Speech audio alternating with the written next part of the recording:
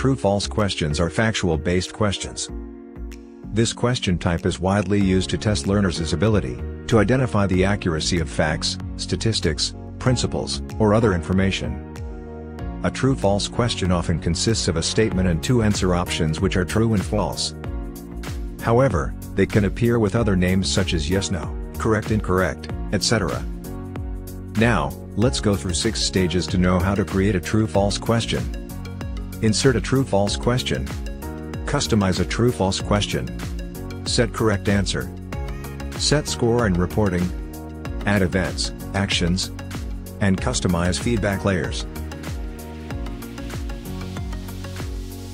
Click the True-False button to insert a question. Like other types of questions, the True-False question slide also appears with three parts. The top text box, the answer area, and the Submit button. Click the top text box to add the question title. The answer options are named true and false by default, you can rename if you want. The Format tab is available to change radio styles, and quick styles. Just double-click the radio button to set the correct answer. You also can set score and reporting for this type of question. Select the answer area, go to the Interactivity tab, notice the score and reporting section. As you can see, the graded mode is selected by default. Here, learners can get one point for each correct answer and they can submit the answer only one time.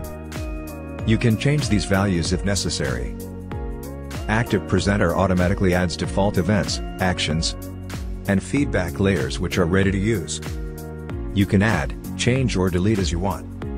See how to work with events, actions and how to customize feedback layers videos for more information. Insert a chameleon image to illustrate. Let's see the preview. That's it. Thanks for watching.